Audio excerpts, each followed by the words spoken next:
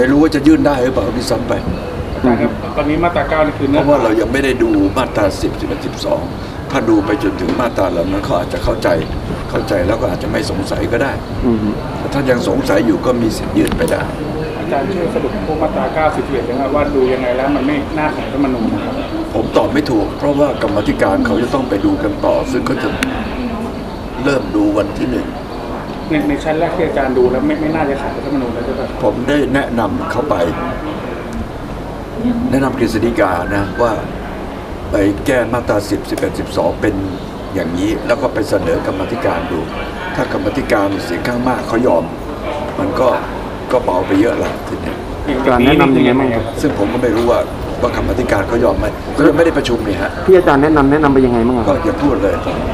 ณตอนนี้อาจารย์ฮะยังเอ่ยยังมีความเป็นห่วงว่าพรบนี้จะตกในชั้นเอ่อวาระสองวาระสามไหมครับเออไอ้วาระสองมันไม่มีตกอยู่แล้วนะแต่วาวาระระสาสามมนี่ผมไม่แน่ใจแต่ว่า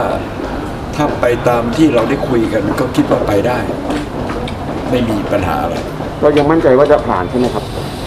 มั่นใจว่าอย่างนั้นครับขอบคุณครับ เพราะว่าเมื่อได้แนะนำไปแล้วก็ดูว่าจะแก้ได้ แก้ได้